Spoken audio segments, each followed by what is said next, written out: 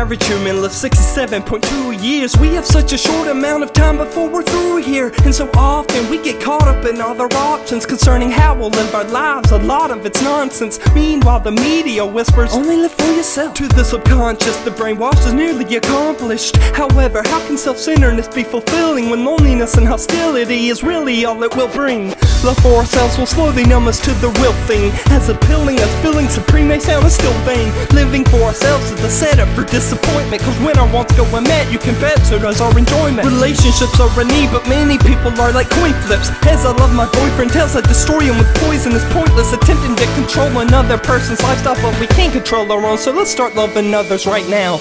We're supposed to love people and use things, but we've got it mixed up. We confuse these. Getting what you want may not help like you think. Once you won the world, what's next? Just death? Success isn't enough for us, it's so much less. Eternal love is all we really need, it's what's best. With all sincerity, time is short, so I suggest you think it through and decide for your life what matters the most.